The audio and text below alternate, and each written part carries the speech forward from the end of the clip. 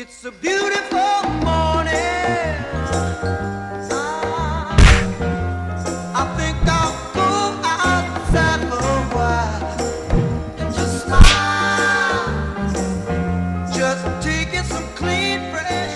Good afternoon, everybody, and welcome back to another Krebs Coho replay cast. This time around, we're going to be looking at Thomas the Tank Engine and his awesome strength in pulling coaches.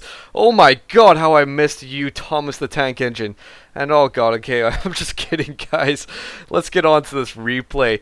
Now then, what we're actually going to be focusing on this time around, we're going to be looking at a 1v1 on Wreck Train, featuring an American player, Freestyler, versing his opponent on the southern end, Sh uh, Siepaka, the Wehrmacht player. So you guys have been requesting a vanilla matchup, and I know I've been doing a lot of opposing fronts matchups lately, so here you guys go, a vanilla matchup as you guys like it, a Wehrmacht versus American matchup. Okay guys, so whilst all this building is happening and all the un uninteresting um, beginning stuff is happening, going on, let's take a look at what the map is like. So this is actually the second time I've ever cast this map. The other time I casted it was a Brit and uh, Wehrmacht game, I believe so. But anyway, so onto this one. So let's take a look at the map. There's loads and loads of plus 5 points, so low points, and there are a few medium points. So there are a few um, medium munitions point over here, and there's another set over here. Now what makes it interesting if you look on the map is that this pair, this set, is between all this cover, all the wreckage, all the destruction that occurred, hence the wreck train name. Um, so there's lots and lots of cover. On contrast, there is on this side practically no cover whatsoever. In fact, it's just the opposite. What you have is a big road going through the center, and that is going to be providing red cover. You have a bit of uh, tactical options by having a few trees that is going to provide um, an omnipresent uh, yellow cover. That meaning uh, omnipresent, obviously, whatever direction you are, you are absolutely fine. Unlike green cover, which is directional. Okay, so let's take a look at what is going on. The capping order, we have Wehrmacht Pioneers capping way here. Likewise, we also got Engineers capping way over here. So uh, they're obviously going to meet somewhere in between. And, hmm, looks like they're not going to be meeting in between. In fact, these ones are going to be going straight for the fuel point, whilst the Pioneers are going for the uh, cutoff point over here. Obviously, you need this cutoff point in order to connect up to this fuel point, which is medium fuel point. They were hoping to do that by using the Riflemen to uh, cap away at this point, but instead the Pioneers are retreating and the Volksgrenadiers, whilst they are capping away, the leftover men are shooting away at the riflemen, so combating them, obviously a little bit of engagements, the Volksgrenadiers would win this if they kept on going for hours and hours and hours, obviously it would take a long time, but that is how it's like. So as you guys can see, this point is just about to be connected up. If he captures the point, and yes he is actually capturing it, as we can see the flag is moving up, uh, just the bar wasn't present there for some reason. Hmm, strange. Uh, so the uh, riflemen are going around here, around the mound, the roundabout, and the pioneers are way to cap. So what else is coming out from these guys? Now, let's talk about the players. Freestyler and Siepaka. I believe I have casted a game on Siepaka before, and they are good players. They're quite known for um, playing very good. They're expert-like, and so there's a lot to expect from this. It's a vanilla matchup. I've taken a look at it, and you know, it, it's vanilla in every single term of vanilla, basically. If you, uh, it basically defines what a Company of Heroes is, this game, and it's just absolutely great to watch. So hope you guys will enjoy it. The MG42 out, so let's take a look. There's two Volksgrenadiers, an MG42, and two Pioneers, so very, very standard, very vanilla-like, as I keep on stressing. Switching on over to Freestyler, what has he got? He has three Riflemen and two Engineers. So no surprises, nothing shocking. They've got a, um, a correct amount of, or a normal amount of Pioneers and Engineers. So really nothing surprising there. As soon as you start getting some different sort of uh, amounts of pioneers and engineers is when you start getting uh, the weird strategies and stuff like that. So really nothing surprising at the moment. I mean we've got some riflemen over here, we've got standard sort of Volksgrenadiers push forward with the MG42 setting up in the back, so obviously supporting each other. And here we go, the squad's getting right on up in there. However, there's a flanking squad on the side, so those Volksgrenadiers are really not gonna do anything there. They're more uh, like meat targets rather than um, uh, inflicting any damage. So the Volksgrenadiers took a lot of casualties there. The riflemen are retreating because they cannot handle another um, wave of attacks. However, looking at the map at the moment, it seems like the Wehrmacht are recovering the right-hand side. Um, so that's good. The left-hand side is pretty much in the hands of the Americans. And this is where Wreck Train is going to become interesting yet again. So there's about to be some action here, but switching on over to the tactical map yet again, look at the amount of cutoff points. We have cutoff points here, cutoff points over here, here, um, pretty much just about everywhere, and also here. so really there's loads and loads of cutoff points on this map. Um, so that's obviously going to be providing a lot of tactical sort of options on where you can uh, deny your opponent their resources. So uh, flamethrowers on the engineers. I also believe we saw flamethrowers on one of the pioneer squads that retreated just a bit earlier. And so again, just loads of normal starts. Really nothing surprising here. Uh, what else is coming out? We have a supply yard, so obviously going to be moving on to the uh, motor pool, and there we go. The motor pool is about to come out. What does the Wehrmacht have? The Wehrmacht, in fact, probably has nothing really. um, I'm not sure if he's even at T2, and no, it doesn't even look like he's at T2 since he has all of this, uh, these munitions or fuel saved up. So he's really going to have to start thinking about going out to T2 just because the motor pool is just about to come out. Obviously he can delay the motor pool with some uh, Panzerfaust. He got he has uh, four Volksgrenadier squad, so almost spam spam like. Um, these can obviously combat the M8s or T17s with their Panzerfaust, delay them anyway. But you gotta start thinking about getting some Panzerschrecks or Pak guns from T2. Likewise, skipping on over to T3 if you want to be that bold and go for that. Uh, but really, you should only go on to T3 when you have a good advantage over your opponent.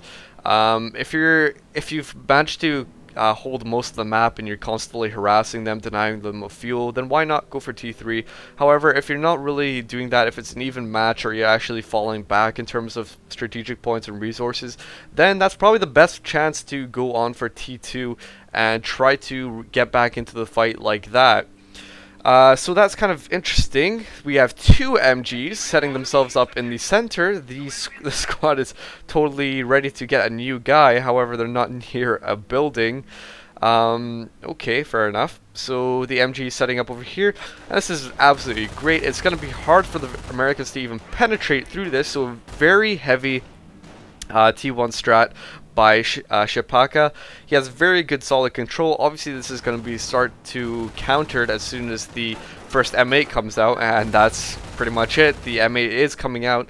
So this uh, impenetrable impenetrable wall of defense is about to be countered. And oh no, the Pioneer was going to put down a mine here, but instead he's going to be seen and that mine is being cancelled. No point in putting a mine down if they know where it is. Oh no, he could have easily uh, lured that M8 into the mine and that would have at least uh, held back the M8. But, oh well, that's kind of unfortunate. So the Wehrmacht, in the meantime, with that impenetrable defense, has managed to uh, cap away the points over here, denying the Americans from their points over here. So the Americans got an engineer squad with a minesweeper on it, and revealing that mine on the ground. This is what you usually see in more expert-like games, and I'm feeling really at home with this replay. This is just something that I feel so comfortable with. It feels like something that I would do if I was the Americans or the Wehrmacht in terms of strategy. Also feels like a replay I would have watched back in 2.601 or before that. It just seems very familiar and nostalgic in a way. Um, so obviously, as soon as you see minesweepers on pioneers or engineers, that's obviously a good sign that your opponents are, uh, well, good opponents, and they know what they're doing. Uh, likewise, seeing mines on the ground, and that just gives you an appreciation of what is going on. So two Panzerfausts already shot on that uh, M8. I believe this squad was trying to get in there for the final Panzerfaust, but instead they missed out on that opportunity. They had enough munitions to do so, however, yet again missing out on that um, opportunity. So there needs to be an engineer to get in on there and repair that M8. That's obviously going to be denying them of some sort of capping power. So this engine, this uh, injured Volksgrenadier squad is focusing on the uh, engineers over here and very good choice. I love these little details. So using an injured uh, Volksgrenadier to deal with the engineers uh, while keeping all the full health squads at the main fight just paying attention to little details, just so, the, these sort of things that you gotta appreciate, really. Uh, let's take a look at what else is going on. We've got T2 by um, Siepaka, so he's getting his first pack out of there. But loads and loads of infantry. What I would like to see, since he has the munitions, is actually probably a medic bunker, um, considering all the infantry on the field and that would definitely help a lot. We've also got Grenadiers queued up in the Krieg barracks, so obviously going to be getting those Panzerschrecks out. He's got loads of ammunition. He could easily afford two of them, um, and by the time they're out effectively on the field, he could uh, start thinking about even getting another squad and getting a third Panzerschreck. So loads of anti-tank. So how is the American going to respond to all of this? The American, he has his leading M8, which has managed to uh, penetrate the Wehrmacht defensive line on this side. However, there's a huge massive force of guys here. And here we go, a bunker coming down, facing in the wrong direction. Uh, well, it's not really facing the wrong direction. As you guys can see, the cone is facing this way. However, if you look at actually the back or the or the sides of the bunker, there's actually windows on pretty much all sides, so they can fire out of every single direction. Um, so this is most likely going to turn into a medic bunker, and yes it is, there we go. And we still have loads of munitions, just about enough, almost about enough for two Panzerschrecks.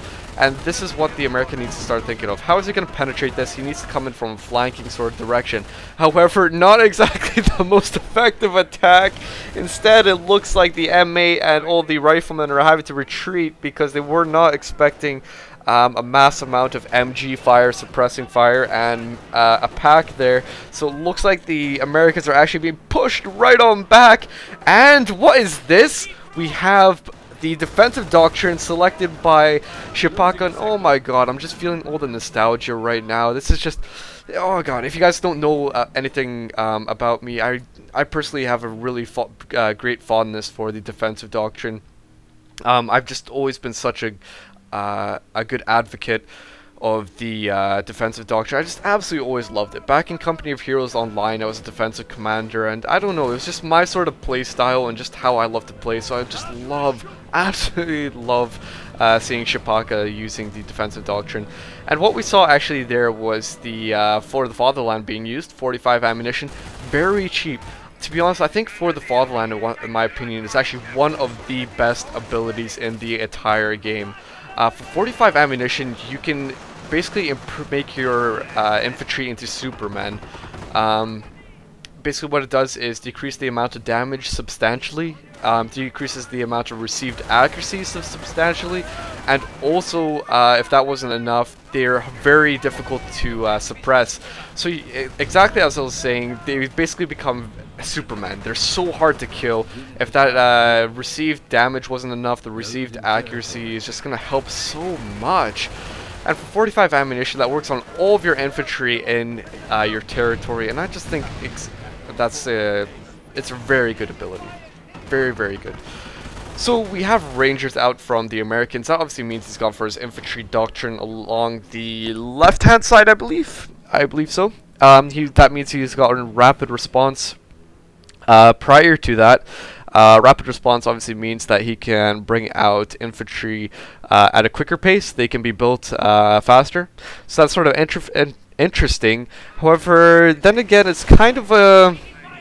Mm, not a useless ability. I suppose it just depends when, because if you get uh, rapid response out as soon as possible, if you definitely know you're going to be going for infantry doctrine and get that rapid response, then I suppose it could help get those riflemen out quicker.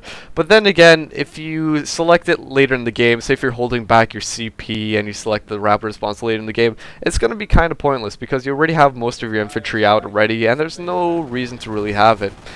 So let's uh, look at what else is going on in the field. The M8 armored car shooting away at the MG42. And now I'm actually just thinking about something right now. Uh, just prior to what I was saying about rapid response, I actually do not know this. I'd like somebody to confirm this with me. Um, I'll probably leave a question in the description below, but does rapid response increase the uh, reinforcement um, time? Because I know it affects uh, production times. I'm not exactly sure if that uh, affects the reinforcement time. Because if it does, then that potentially will help pretty much the entire game. So I'd like somebody to just let me know about that because I haven't actually taken notice to that and it just suddenly popped into my head and I'd actually really like to know. I'm sure a lot of other people would like to know that as well. Um, so the Grenadiers moving on forward, very solid control by the Wehrmacht. It looks like the Wehrmacht are pretty much going to win this game uh, pretty much halfway into the game so far. And what do we have? We have another for the Fatherland put down. We have Grenadiers capping way up here. The left-hand side is in the control of the uh, Wehrmacht, which are back capping towards the points that they do not have at the moment. However, it looks like the Americans are going to be pushing along here, and the Americans are just in such a such a pickle at the moment. How are they going to penetrate this? What they are going to do is actually get their uh, Rangers to uh, put on their heroic charge and fire up and get on in there and take out pretty much everything that the Wehrmacht had here. What was the Wehrmacht player doing? Did he just completely forget about everything he had over here? Because his Volksgrenadiers could easily have retreated there, but this is just um, gonna catch him down, catch the Wehrmacht player with his pants down. Um, he has nothing to respond to over here. He has nothing. He's got uh, a whole bunch of uh, men coming back onto this side. However, he's left the side totally open for the uh, riflemen and Americans to set up some defensive positions behind the cover and start fighting their way back into the battle. The nice thing though is that uh, For the Fatherland is used yet again in friendly territory. That is such a great benefit of having this over here. And look at this, despite all the BAR fire coming down on the Volksgrenadiers, they're hardly getting damaged and uh, being killed. So absolutely brilliant. We have two snipers out in the field, one by the Wehrmacht and one by the uh, Americans. So that means we have a back cap, back tech to uh, WSC. This is obviously to combat the uh, frontal lines of the Americans or the Wehrmacht to take away at their MGs, at their packs, at their sniper, and to just generally wear away at them. So very good decision. And what was this? We had a counter snipe. We had a counter snipe by the American sniper. The Wehrmacht sniper is just taken down with the pack firing away in retaliation against the M8 armored car. Can we get some sort of dishing power out from the Wehrmacht? Can they recover? It seems like the Americans are doing a massive sort of push. The Wehrmacht lines are really falling falling back. The uh, these Volksgrenadiers are really badly damaged. They really need to just I don't know get their um, push back the Americans as soon as possible, get on back to the base, get reinforced. But really, uh, God, how is this going to turn out? I have no clue. This Wehrmacht squad going down and the other Volksgrenadier squad retreating. They have Veterancy 3 on them. That means they have health regeneration. They have uh, Veterancy 2, which has to deal with the received accuracy. They do not get elite armor. And they have also Veterancy 3, which affects their uh, max amount of health, which gives them plus 20%. So obviously that is going to help a lot. We've also got the Medic Bunker, which is uh, obviously going to help loads and loads and loads throughout this game due to the heavy infantry use by the Wehrmacht. Obviously going to be uh, getting loads of Grenadiers out of that. The Grenadiers uh, fighting the Thompsons uh, near range, that's kind of an iffy thing. It doesn't look like the best of ideas, but still look at this. Barely taking any damage. One grenade almost taking out that ranger squad. I don't know why they actually didn't keep stay there and take it out. Iffy thing to be doing there. Um, what I wanted to mention was that despite all this battling happen happening, the Wehrmacht really needed to recover. Uh, they had multiple injured squads on the field. What they really needed to do was get back to their base or this medic bunker and re um, had reinforced their squads. They had multiple squads just making their way back onto the field, but really they did not at one point there have much to defend themselves. All they had was an MG, a pack, and that was pretty much it. The rest of their uh, sides were left bare. And so the Americans managed to make a very good push um, pretty much by the mistake of the Wehrmacht. What the Wehrmacht really needed to do was hold that line a little bit better, maybe put some more barbed wire down, maybe get a uh, mine down somewhere. But what one really big mistake that they done was that they just didn't retreat their squads, despite the uh, Thompson's just uh, closing in on that MG and the Volksgrenadiers here.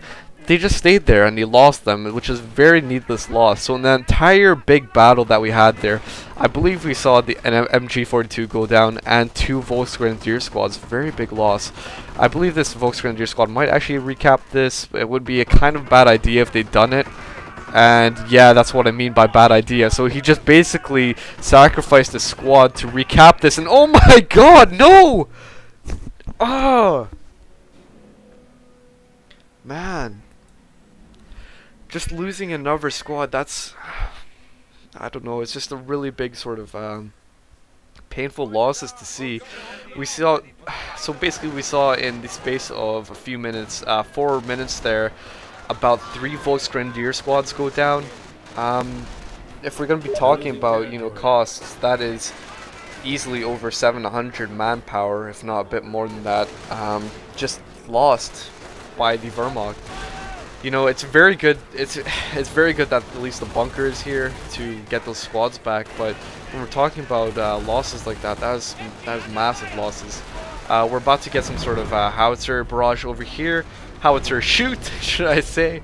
I absolutely love saying that um, that ability, the howitzer shoot, because it just doesn't sound it just doesn't sound proper. It should it should actually be like howitzer barrage or something like that. But for some reason, uh, Relic decided it should be howitzer shoot. So okay, that's fine. Why not? Uh, the riflemen are approaching the section over here, the sector, and they're most likely going to be doing some more harassive sort of stuff. The Wehrmacht, however, are on the fallback. They are trying to defend the Americans from their push onto Berlin. Obviously, um, not managed to hold their lines too properly. Where is that American sniper? Because I believe he's been alive for quite a while. 12 kills on that American sniper, so very good job by him. Um, so let's say 12 times 30. Uh, how much is that? 360, so he is already paid off for himself. So well done, Mr. Sniper. Good job. Another kill coming down for him. And these Grenadiers having a really hard time. So if you think about it, Grenadiers, four guys in a squad, uh, Sniper a kill on one of those will effectively take out half the fighting power um, by 25% each time you shoot. Um, so that's kind of an iffy thing. Obviously, you got to be really, really careful. At least that other Wehrmacht sniper is out. The Wehrmacht, however, are back in force in the center. Loads and loads of guys. If we do a sort of panoramic view, look at that. Loads of them. But more engagements happening. So how are the Wehrmacht are gonna? How are they gonna uh, respond to all this uh, pushing back?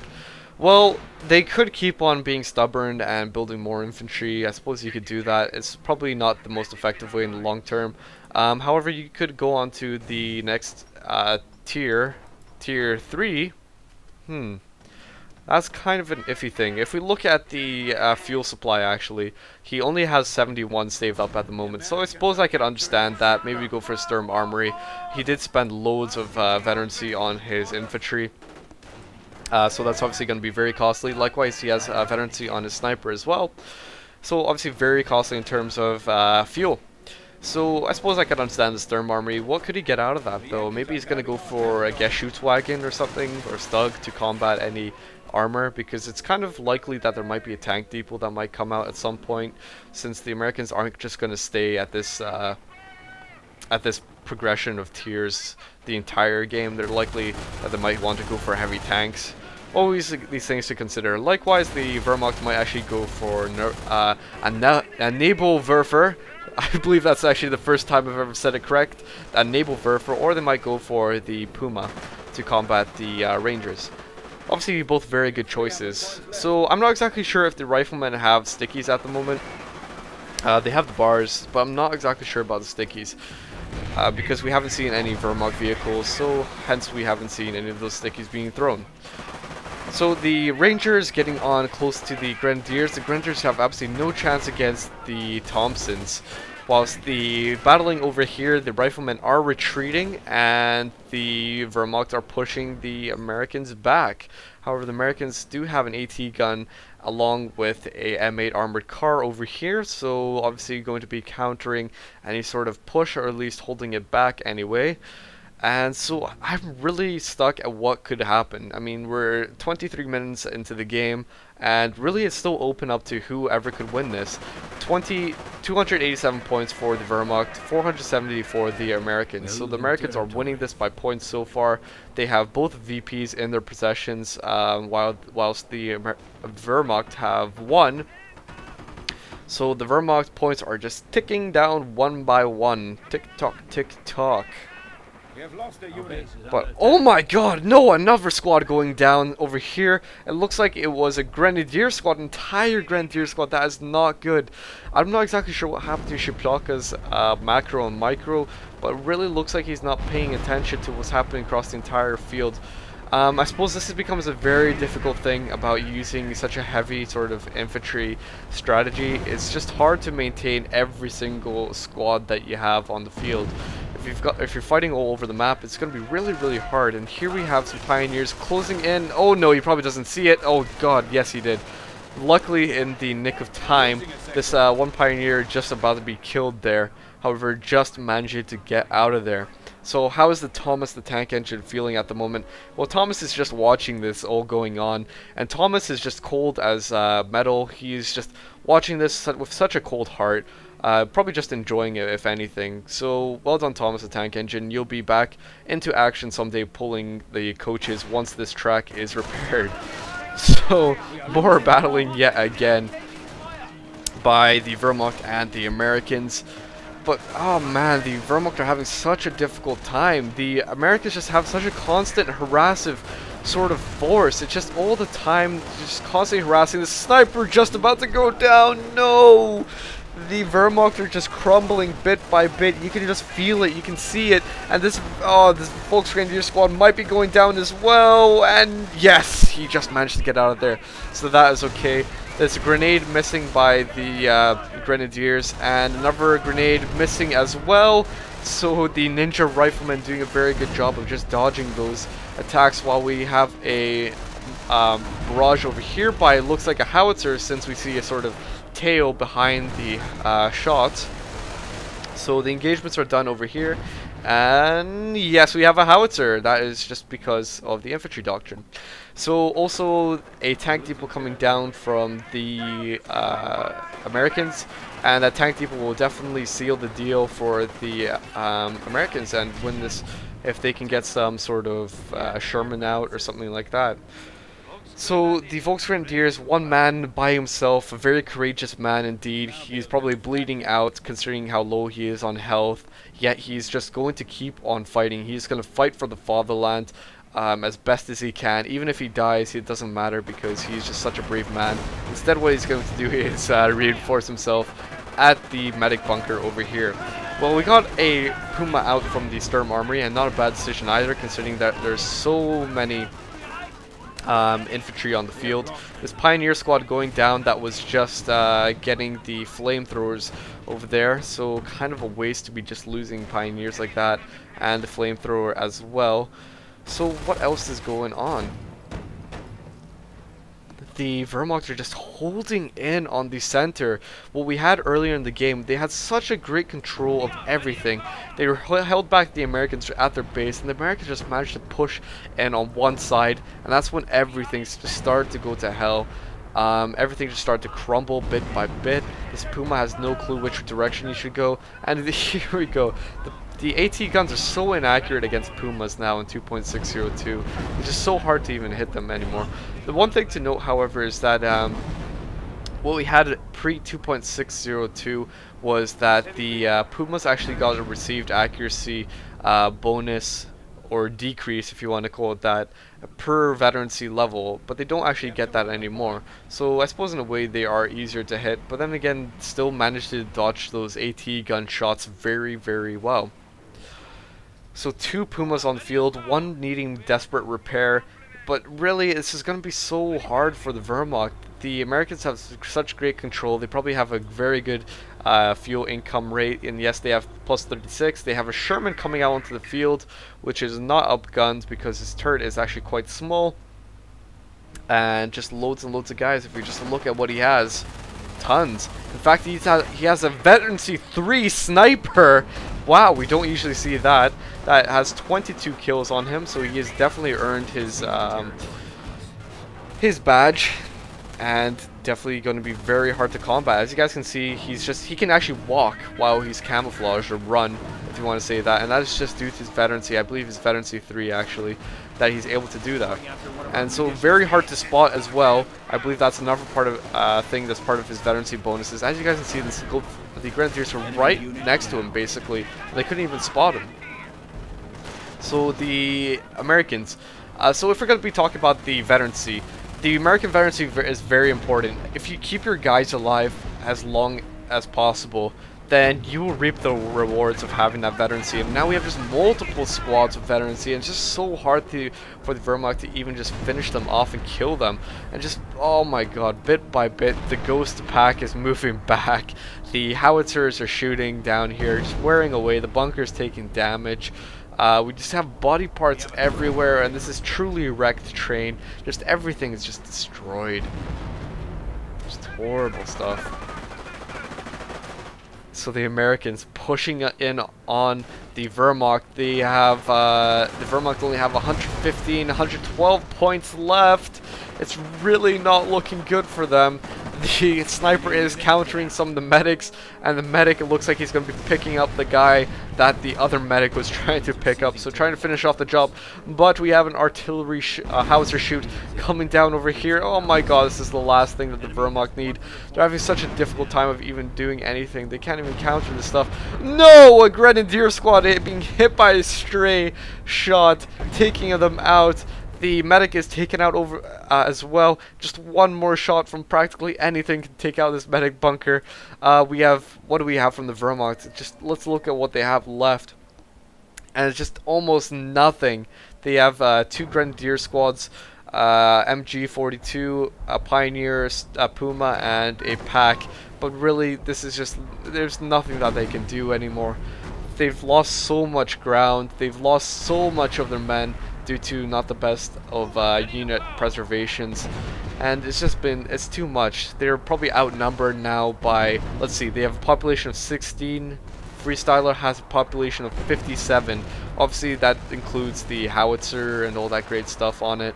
But um, 65 population that's almost four that's basically four times as much as what the Wehrmacht has.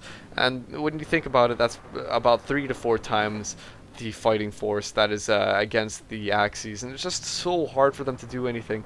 I mean, the Grenadiers can grab the Panzerschreck, or the uh, have the Panzerschreck here, but one Panzerschreck isn't going to do anything against a Sherman. Obviously, it can damage it, but it's going to have a really difficult time, especially two Shermans like this. This Sherman, for some reason, just staying there and taking some shots. At it. I suppose he's trying to be like bait, and it looks like it. It's just so that the sniper could get in there and take out that Pak. And now the Wehrmacht are in just such a tough position. Just one...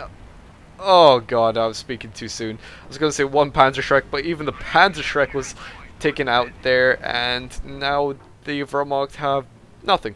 Just absolutely nothing. They have uh, Pioneer Squad. Their base looks like it was actually getting barraged by uh, probably the howitzer and that's pretty much it. It looks like 49 points left for the Axis. They are being encircled by the Americans. Siepaka is saying well played and indeed Freestyle played actually very very well.